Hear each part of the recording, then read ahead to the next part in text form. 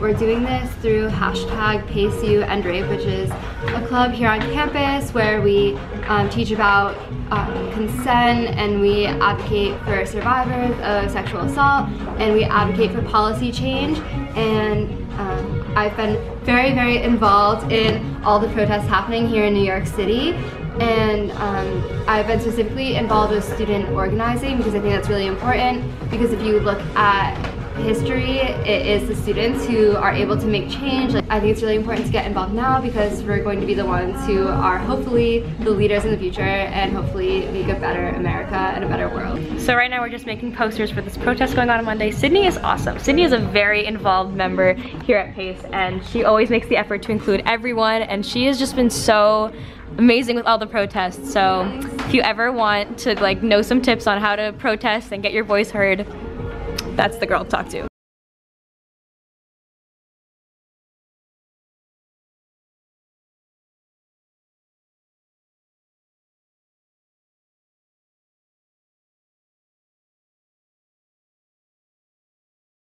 Good morning to everyone. It is a Monday morning and I'm feeling super motivated today because I woke up at around 7 a.m. without an alarm clock just I happened to wake up at 7 and I couldn't fall back asleep so I thought, you know what, I'm just gonna get up and start my day early. So I cleaned the entire floor, I cleaned the entire bathroom, I did all my laundry, I changed my bed sheets, I oh, I've started looking into a few things related to college for next year, so everything has just been like fast paced. I just picked up all my laundry and it's still like super hot. I think I left it in for a little bit longer than I should have, but anyways, this morning at 11 a.m. Uh, I'm going with my friend Nikki to a protest. I'm so excited because you guys know I love going to protests and interviewing people so I will be doing that as well as afterwards. It is so nice out still from yesterday so I'm going to be going on a run at like 2 p.m. I think in like West Village so today is just a jam-packed day and I'm so excited and I'm very happy that I got an early start to it so I just wanted to share my energy with you guys because I'm feeling very enthusiastic at the moment. So right now we're headed up to 59th Street Columbus Circle where Trump Towers is um, for the Not My President's Day protest, which we had made the signs for the other day. And so now we're traveling up with a group of Pace University students um, to go and participate in the protest and use our voices.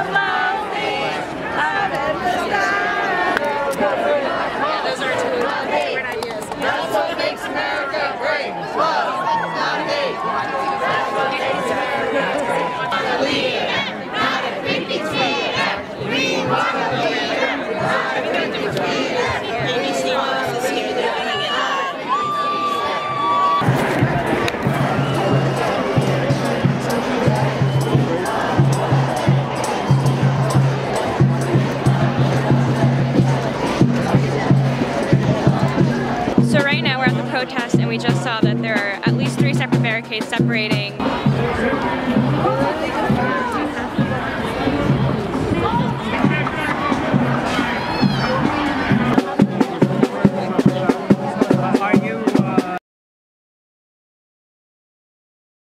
I care about humanity.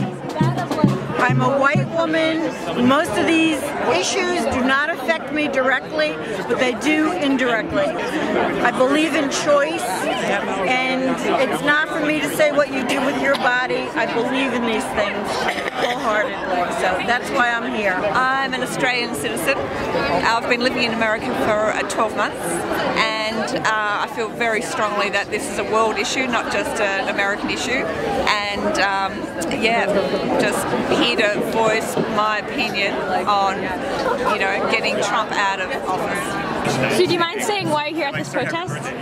because I think we have a uh, very dangerous person in the White House, and we need to show that uh, we don't agree with what he's doing. We don't like him. Because he lost the popular vote, and uh, we need to also wake up Congress to uh, get them to, to put him in check because uh, we're headed we're headed down a very dangerous path potentially. And do you mind saying why do you think people should be coming to these protests? I think people should be coming to these protests just to, to send a very loud and clear message. People have been. I mean, look around. There's a lot of people here. Uh, so you know, this is this is democracy. We have a right. It's our First Amendment right, and we need. If you don't exercise your right, why have it? Right.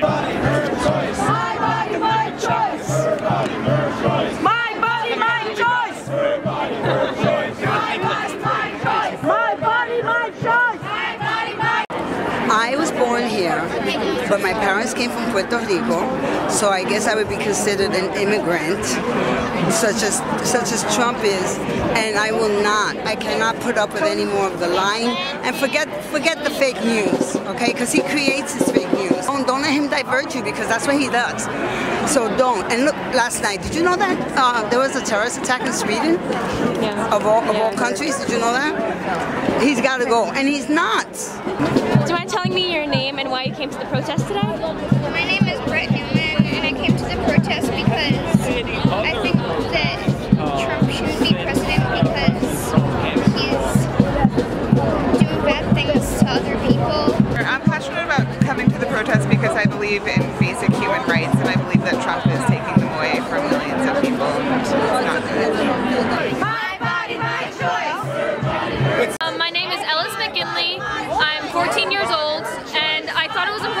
here because Trump doesn't stand for us, and he doesn't stand for Americans and people who need to come here. That's what makes America great.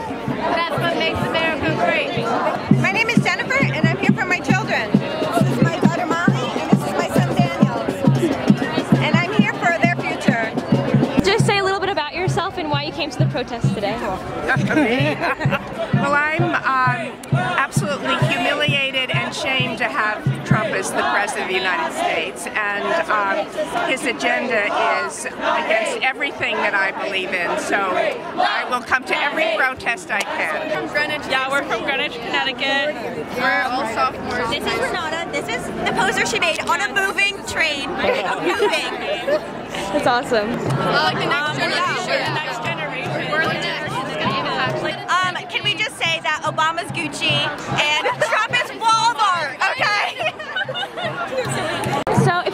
little bit about yourself and why you came today. Okay, my name is Judith. I'm a retired college professor, and I'm here because I'm profoundly disturbed by the direction of the country and the fact that we're being governed by essentially a three-year-old. Uh, my name's Chuck Finkel. I'm a New Yorker, and I'm here because of our unhinged president, who's a racist and a bigot and a misogynist, and he seems to have ties to Russia that aren't very good, and we really need to do something about it. So that's why I'm here. Um, hi, I'm Adele Myers, and this is my husband Jay Reingold. And uh, we're very concerned what Trump's doing to this country, and we think it's really important to get out here and to fight for what we believe in, um, and uh, you know have our voices heard. Pretty much what she said. Show me what democracy looks like. This is what democracy looks like. So, if you could just tell me a little bit about yourself and why you came today. Uh, well, I'm basically an average person, I guess, an average American, but I feel like uh, Donald Trump does not speak for me, and when he and Sean Spicer say that what Americans believe, I think that's incredibly misleading and uh, unpatriotic. I am 27. I live here in New York City. I've lived here for about three years, and I think it's really important to voice our concern for the unconstitutional policies that Trump has put forth in the last month. Okay, so why are you here at the protest today? Um, we just want to show our support. I mean, the whole idea of everyone getting together to support one cause is just so amazing. And I think it's important for teens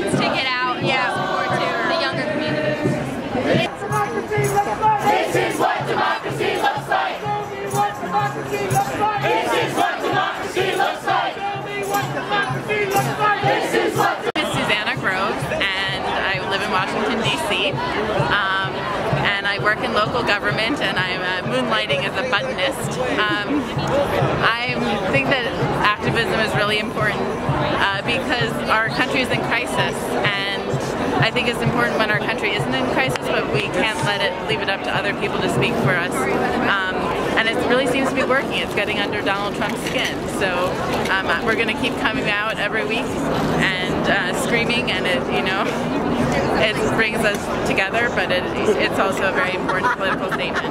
Hi, um, so I'm from Argentina. I'm an immigrant. I immigrated here five when I was five years old. So this is really important to me because I have a lot of family that is going through a process that's very difficult for them. Luckily, I was able to go through it. My family was able to do it, but other members of my family were not lucky. And I'm a student now, and living in New York, seeing so many, meeting so many different people, it, it's just really important to me that everyone feels that they're represented and listened to, and yeah, basically that. Thank you.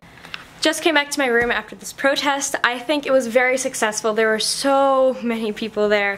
The only thing I would have to say about this specific protest is that it really wasn't too riled up. Like the crowd wasn't crazy energetic. Like everyone's presence obviously matters a lot, but it was just a little bit off because there was constantly like a lot of barriers separating the protest, which kind of defeats the purpose of having like a whole united group because it makes it seem as though it's smaller than what it actually is. But I'm not sure if it's for safety reasons or whatever the reason may be, but I, other than that, truly incredible how everyone was there and everyone came out to support and speak their mind and you know say what they wanted to say to the camera and to their friends. If you're interested in seeing more videos on my channel whether it be college daily vlogs or videos of me going to different protests and speaking my mind please make sure to subscribe and follow on all social media and I'll see you guys in my next video. Thanks for watching!